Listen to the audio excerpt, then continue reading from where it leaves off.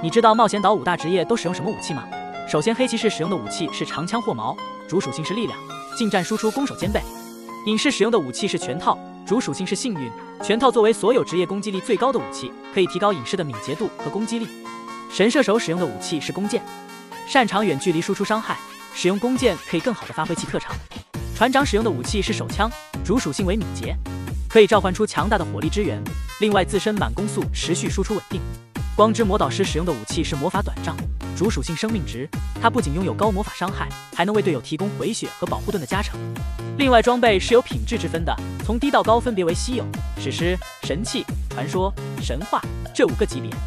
装备的获取途径主要是通过材料制作或者交易购买，前期一定要先做个橙色武器，可以直接用到做绿装的时候。